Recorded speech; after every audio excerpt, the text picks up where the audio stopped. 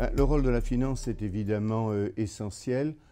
À mes yeux, beaucoup plus au niveau du capital des entreprises qu'au niveau de leur financement.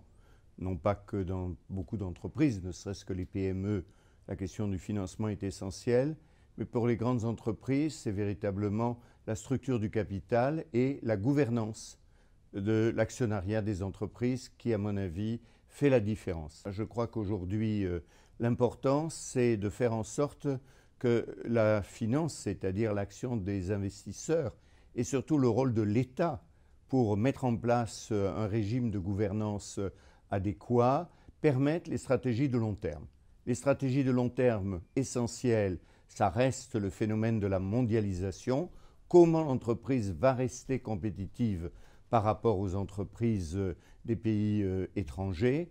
Et en particulier, bien entendu, on songe tous aux défis que donnent les entreprises chinoises à beaucoup d'entreprises françaises. La deuxième chose, c'est la transformation numérique.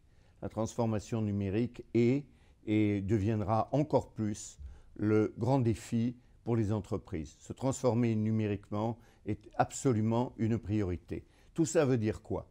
Veut dire qu'il faut des stratégies de long terme.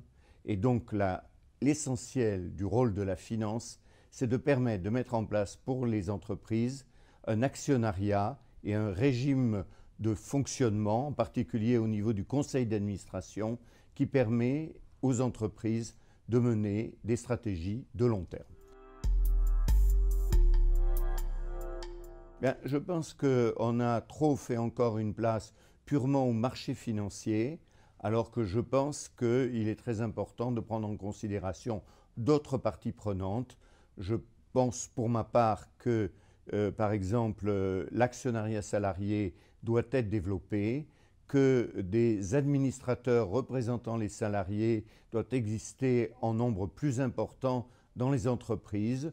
Je pense qu'en gros aussi, les entreprises qui restent longtemps au capital doivent être avantagées soit avec des dividendes accrus, soit certainement avec euh, des droits de vote supplémentaires.